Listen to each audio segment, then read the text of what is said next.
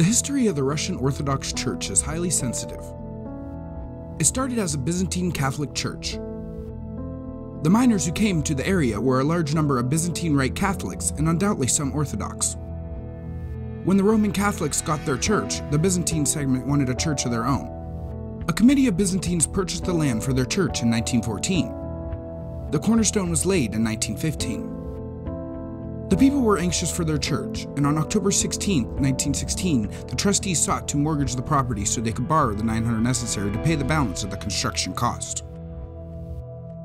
The large frame church had a pressed tin roof, a simple homemade iconostasis, a marble altar, and hand-painted banners commemorating the men and women belonging to the parish. The lack of records prevent any further details of local events from 1930 on. The general trend of events can be outlined.